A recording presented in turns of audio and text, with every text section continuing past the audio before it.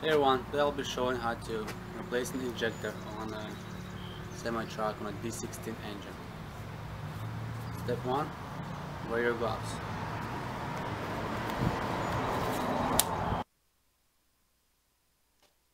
Alright, uh, so this is step 2. Uh, what we're doing here is just uh, removing all extra parts such as air filter to get to the engine.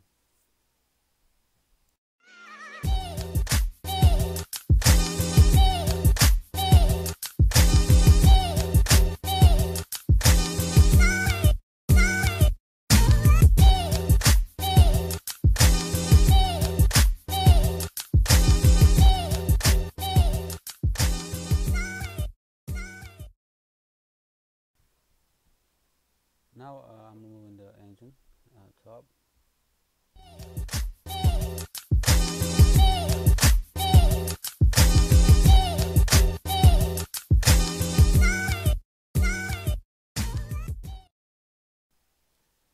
So what we're doing over here is that uh, we're tying down the camshaft to an external item. This this time we use the uh, snow shoveler for cars. So and what we're doing we're just tying and zipping it down so that way um, all these parts don't slide because once we pick up the camshaft it's it's very smooth and they might slide out and we might we, we might have to uh, put them all back together to to avoid that we uh, pretty much tie them down here zip them down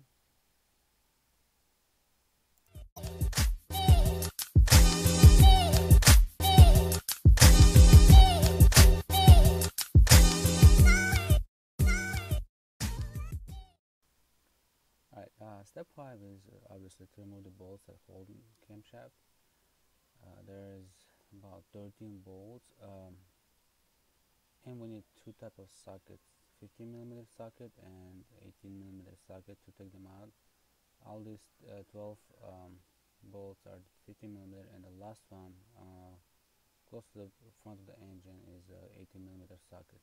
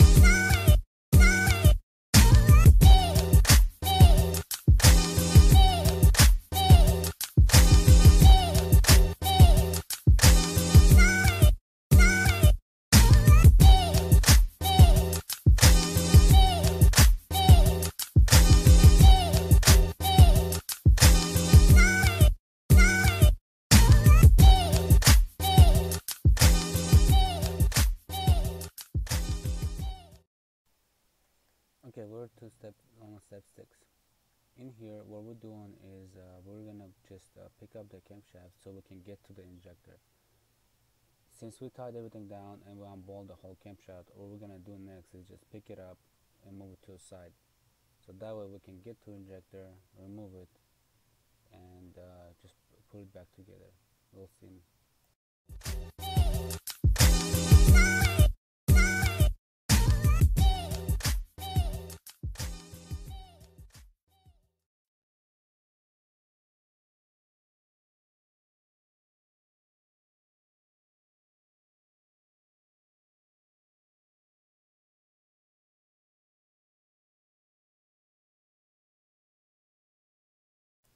Step 7 is to remove the injector.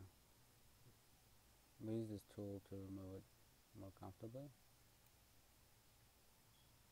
And as you can see, you just pull it out and it comes right out.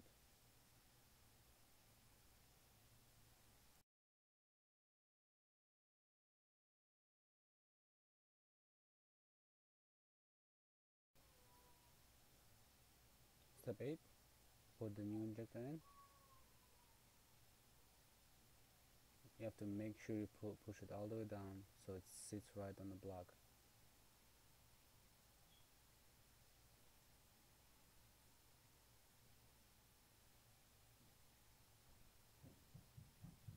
Alright there's the injector. It's in its place. We're just double checking everything make sure everything is uh, correctly set. And then there's a bolt that secures the injector. You have to put it, put it back and um, tie down.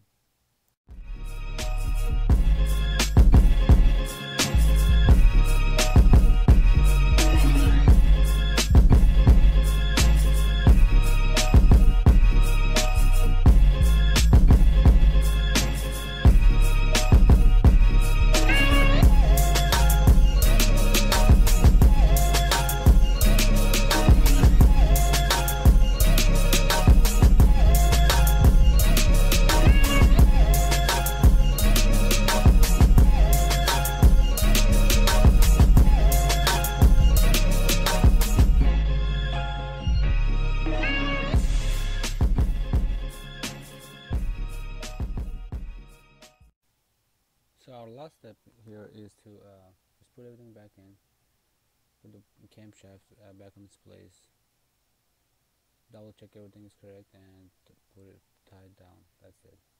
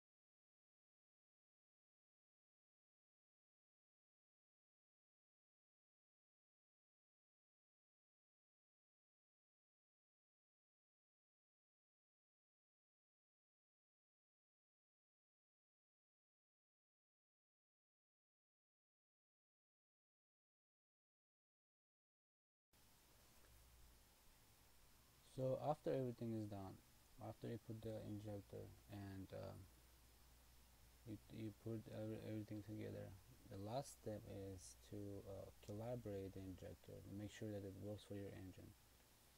Most of the time you will have to go to a dealer and do um, computer collaboration so the injector understands the computer understands there's a new injector and it works properly. But since we replaced the injector that was initially from this engine. It was already adjusted to the engine. We did not have to do anything. All we had to do is just put it back together and it was just working fine. Thank you for watching. If you guys have any questions let me know. I'll try my best to answer them. Thank you. Bye